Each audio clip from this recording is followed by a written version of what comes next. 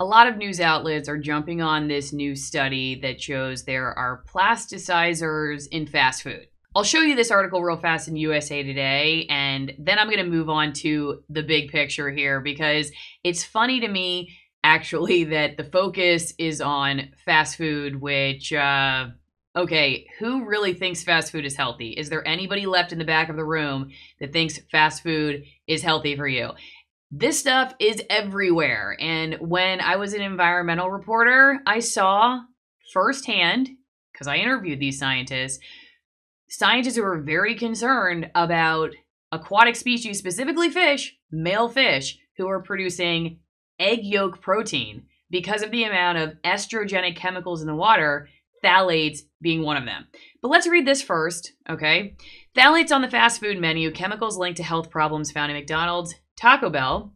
This research that was published in the Journal of Exposure Science and Environmental Epidemiology found that over 80% of the foods that they studied, coming from McDonald's, Burger King, Pizza Hut, Domino's, Taco Bell, and Chipotle, contained a phthalate called DNBP, and that 70% contained the phthalate DEHP. Both of the chemicals have been linked to reproductive health problems. And one of the authors said that it's concerning to find these chemicals detected in the foods that we ingest. Now, phthalates can end up in foods any number of ways. One of the ways that they cite here is through the packaging. But phthalates are everywhere. Phthalates are one of the reasons that I entirely overhauled the makeup that I used, but they're everywhere. You can find them in lotions and in soaps. So it's always funny to me when we point out that McDonald's or Burger King is unhealthy because they have plasticizers in the food when it's basically in everything that we touch and consume. Not everything, but a lot of the conventional products that are out there have phthalates in them, which is why you have to be really careful about what you're putting on your body and putting in your body and it's not often discussed in mainstream news, mostly because, well, hey, I was one of the only full time environmental reporters for a TV station in the entire country. And so a lot of people don't know about this stuff. I don't know if you remember this skit back when Stephen Colbert was actually funny, but he's talking to Sammy the salmon, and the salmon came from Puget Sound, where I used to be a reporter where I did my environmental reporting. One of the big studies that came out while I was in Seattle was about how there were drugs like Prozac in the water, cocaine, all kinds of big name, big label drugs that they were finding in these salmon. But it's funny, when I went to interview one of the scientists about this, she told me that they were very concerned about endocrine disrupting drugs in the water. This particular scientist said that while the cocaine in your fish or Prozac in your fish may be the sexy headline, just like plasticizers in your McDonald's, that she and others were far more concerned about these estrogenic compounds that are in the water and how they're affecting wildlife, especially like threatened salmon species. Just to show you that I'm not the only one who's talking about this, this comes from National Geographic. Why are these male fish growing eggs? And that's exactly what we were learning about in Puget Sound that these estrogenic compounds coming from our detergents, coming from other things that we flush down the toilet or that go down our drains and our soaps, uh, stuff that we are putting on our bodies, lotions, makeups, all kinds of things were then going basically through the wastewater treatment plants completely unaffected and then ending up in the water. And then if they're fish that are hanging around the wastewater treatment plants, they're being affected by these and seem to be very affected by these endocrine disrupting chemicals. So this graph right here says fish and wildlife refuges are feminized, probably by hormone skewing pollution. What does this portend for the health of all creatures and people? So if you scroll down here, they say scientists from the U.S. Fish and Wildlife Service and the U.S. Geological Survey studied fish in 19 national wildlife refuges in the U.S. Northeast, including Mrs. Missisquoi, if I'm saying that right. Their conclusion an astonishing 60 to 100% of all the male smallmouth bass they examined had female egg cells growing in their testes. Scientists called this condition intersex and while its exact causes are unknown, it's been linked to man made environmental chemicals that mimic or block sex hormones. Now, they go on to talk about how this is different from fish who are uh, uh, basically hermaphrodites. So they, they talk about it right here. Gender in fish isn't always straightforward, that some are hermaphrodites, meaning they naturally have both male and female sex organs. And they're born with the ability to change their gender, but that's different than intersex. Uh, this happens in species of fish that aren't hermaphroditic, and it doesn't help reproduction. In severe cases, it can make fish sterile. And that was something that the scientists that I talked to were definitely concerned about, especially if you're dealing with a species like threatened salmon and they're already facing some significant issues. And then on top of it, they're not reproducing like they should because the male salmon are producing egg yolk protein.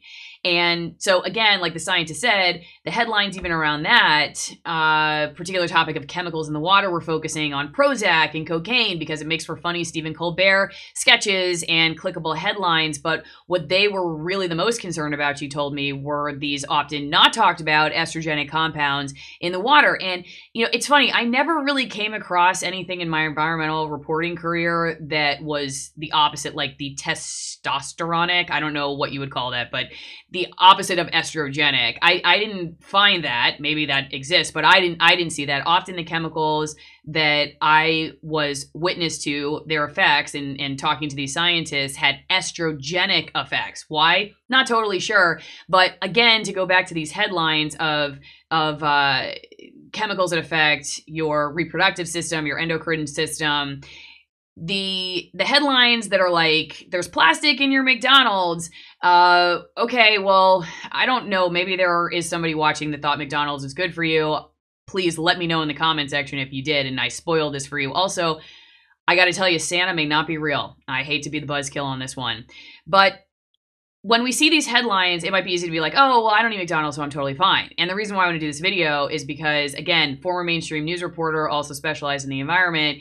Uh, if it's in McDonald's, that doesn't mean it ain't also in some other uh, healthier version of fast food or in that lotion that you think is good for you or even in stuff that's organic. You can find it there. And so it's a word to the wise. You have to be really vigilant as a consumer that you are staying away from this stuff because yeah if you just were exposed to it one time maybe it wouldn't be that big of a deal and granted i'm sure not a biology expert but i'm sure it takes more phthalates to affect a human than to have egg yolk protein produced, if that's even a thing, in human beings. But if you think about it over time, that was that was really one of the pieces of awareness I gained in my job, which I am glad for, is that we often don't think about impact over time. So if it's allowed to be in my cereal or in my makeup at the grocery store, at the drugstore, then it must be okay. Well, maybe it would be okay in the dose you're getting that one time. But if you're using it five times a day or two or three times a day, and then you're using it for 10 or 20 years, what's its effect, especially as it builds up in in uh, connection with other stuff that you're consuming and and really that you realize that that that you are affected by levels of of chemicals that that are safe at a certain dose but not necessarily as many times as you're using it over as many years as you're using it. And so just word to the wise, I, I chose to talk about this because like I said, it's it's easy to walk away and say, well, I don't eat that crap, so I'm totally fine. Phthalates are everywhere and uh, often the stuff that's affecting us is not making it in uh, in some of these uh, articles that pick up on the headlines that are flashy and scare us uh, because maybe your detergent is potentially affecting salmon reproduction in Puget Sound and also could have an effect on you is perhaps not as exciting as there's plastics in your Happy Meal, but it's nonetheless a valid point to consider. So that's why I decided to share that today. Don't forget you can support my work by also checking out my sponsors and having a glass of wine or a cup of coffee in honor of free speech.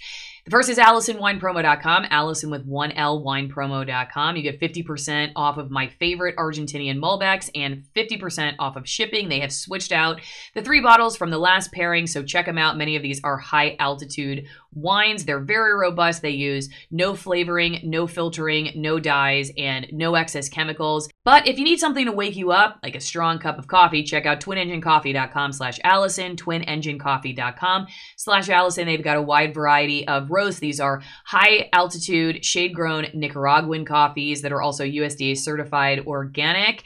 They also do a lot of great work to help prevent sea turtle nests from being poached. You can support their work by also going to twinenginecoffee.com slash Alison and become a sponsor. And they'll even show you video of when the sea turtle nests that they're protecting are hatched. So check out my sponsors and support free speech wherever you are.